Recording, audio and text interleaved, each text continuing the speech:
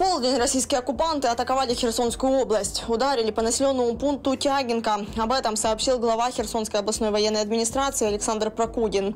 Вследствие обстрела пострадали четверо человек. Один из раненых – 67-летний местный житель в больнице в тяжелом состоянии. Состояние остальных медики оценивают как средней степени. В ночь на четверг оккупанты вновь запускали беспилотники по территории Украины. Всего же россияне выпустили 18 дронов типа «Шахет». Об этом сообщают воздушные силы Украины. По их информации, основными направлениями захватчиков были Хмельницкая и Одесская области. 15 дронов украинская противовоздушная оборона сбила. По информации главы Одесской областной военной администрации Олега Кипера, на Одещине россияне прицельно атаковали именно припортовую инфраструктуру Подунавья.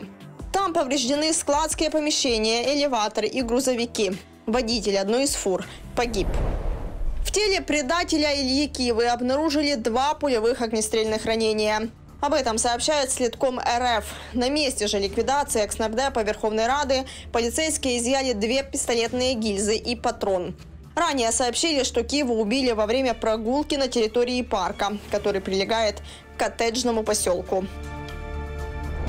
В российском Брянске стрельба в школе. В учебное заведение с дробовиком пришла ученица 8 класса. По данным российских пабликов, над 14-летней девочкой издевались. Оружие же, с которым девочка пришла на так называемую расправу, ее отца. В результате стрельбы четыре ребенка ранены, еще четверо погибших, в том числе и сама нападница. Она покончила жизнь самоубийством. Одну из жертв, свою одноклассницу, восьмиклассница в упор выстрелила из дробовика в голову. По неподтвержденной информации в школе не было рамок, поэтому нападающая без проблем смогла пронести дробовик.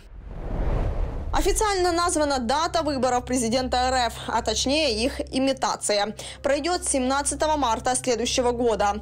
Соответствующее постановление принял Совет Федераций. Тем временем так называемая российская оппозиция объявила о запуске кампании «Россия без Путина». В фонде борьбы с коррупцией Алексея Навального заявили, что результаты выборов будут подделаны. Поэтому время до выборов нужно использовать для агитации против бункерного диктатора. По их словам, нужно сделать так, чтобы всем стало очевидно, что России не нужен Путин. Также оппозиция призвала прийти в день голосования и проголосовать против нынешнего президента.